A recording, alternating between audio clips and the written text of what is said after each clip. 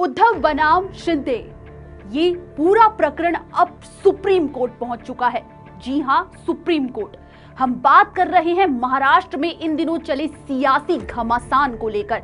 तेज़ी से लगातार एक विवाद जो है वो सुर्खियों का कारण बन चुका है। विवाद है शिवसेना का नाम और शिवसेना का चुनाव चिन्ह। जी हाँ धनुष बाण पर अब सियासत शुरू हो चुकी है। धनुष बाण और तीर कमान पर सियासत गरमाती हुई नज़र आ रही है। तेज़ी से लगातार विपक्षी पार्टियाँ एक दूसरे पर निशाना साध रही है। एक नाथ शिंदे हो या फिर उद्धव ठाकरे, दोनों एक दूसरे पर वार पलटवार करते हुए नज़र आ रहे हैं।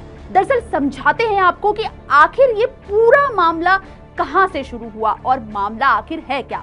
दरअसल चुनाव आयोग का फैसला आ चुका है। चुनाव आयोग ने शिवसेना का नाम और उसका चुनाव चिन्ह एकनाथ शिंदे के नाम कर दिया है। जी हाँ, एकनाथ शिंदे महाराष्ट्र के विधाता, महाराष्ट्र के मुखिया, महाराष्ट्र के सत्ता में अभी जो काबिज है, वो है एकनाथ शिंदे। महाराष्ट्र के मुख्यमंत्री एकनाथ शिंदे, जिनको लेकर लगातार सियासी घमासान मचा हुआ है। पहले एकनाथ शिंदे ने उद्धव की गद्दी को अपना बनाया और अब बात आ गई है शिवसेना के चुनाव चिन्ह की और नाम की, जो अब चुनाव आयोग के फैसले के बाद उद्धव के नाम हो चुका है।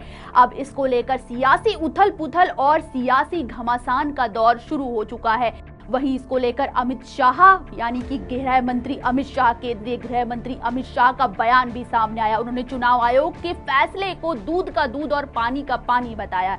यानी कि चुनाव आयोग की जिस तरीके से फैसला आया है, उस पर अमित शाह ने समर्थन जारी किया है। उन्होंने समर्थन दिखाते हुए इस फैसले को अपना पक्ष दिया है। साथ ही साथ उन्होंने उद्धव पर भी निशाना साधा है।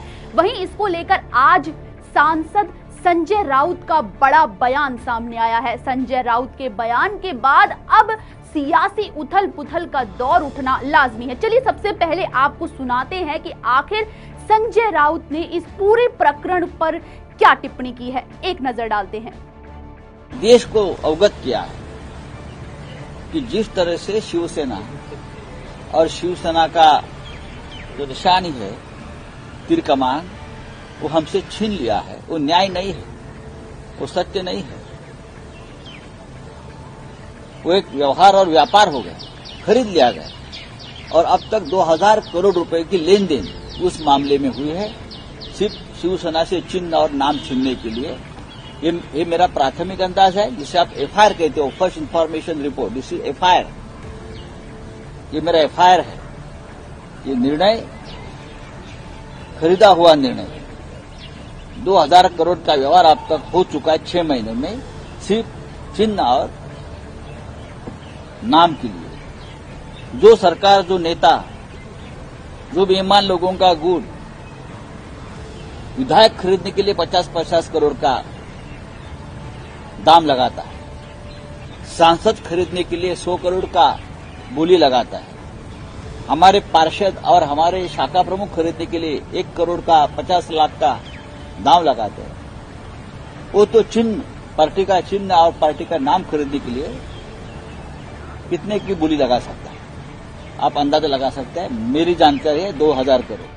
उद्धव गुट के सांसद संजय राउत ने शिवसेना के चुनाव चिन्ह और शिवसेना का नाम जिस तरीके से दिया गया है, एकनाथ शिंदे को, उस पर तंज कसते हुए इस पूरी प्रक्रिया पर उन्होंने निशाना साधते हुए इसमें करोड़ों का घोटाला बताया है। उन्होंने इसको लेकर साफ़ तौर पर स्पष्ट कर दिया है कि 2000 करोड़ रुपए में ये पूरी डील हुई है। देखना दिलचस्प है कि इस इस बयान के आने के बाद अब किस तरीके से सियासी दौर शुरू हो होगा। फ़िलहाल इस पूरे मामले को लेकर कल सुप्रीम कोर्ट में अर्जेंट सुनवाई होने की बात सामने आ रही है। फ़िलहाल देखना दिलचस्प होगा कि आने वाले समय में इस मामले से जुड़े क्या अपडेट सामने आते हैं। फ़िलहाल के लिए मुझे दीजिए इजाज़त, देश और दुनिया से जुड़ी तमाम खबरों के लिए देखते रहिए JK twenty four seven into